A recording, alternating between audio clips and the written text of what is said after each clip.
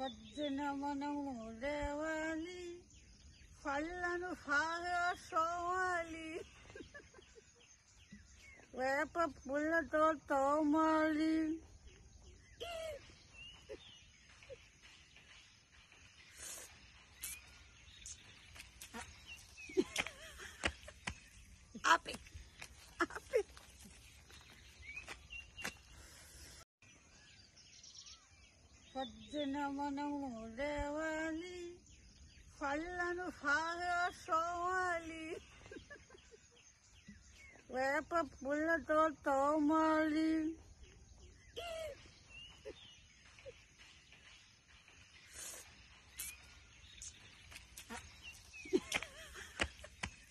ఆపే